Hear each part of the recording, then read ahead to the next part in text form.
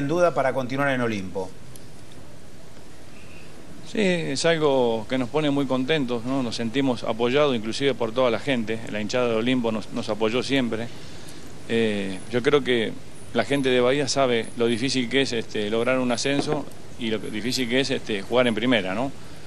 Eh, el club hace todo lo posible, los dirigentes, para, para que el club siga mejorando con el tema de los refuerzos.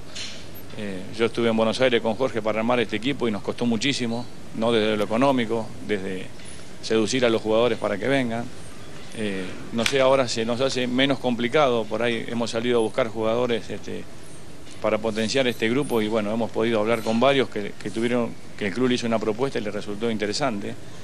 Lo que yo veo, sí, estamos muy cómodos en la ciudad, eh, la gente nos apoya constantemente, eh, es un caso raro, porque a veces uno mismo dice, pucha, tuvimos eh, una serie de, perder seis partidos seguidos y en ningún momento hubo gente que nos insultara o, que insultara al presidente, al contrario. Eh, siempre muestras de afecto y de apoyo en la calle, que eso llama mucho la atención, es verdad, en este fútbol...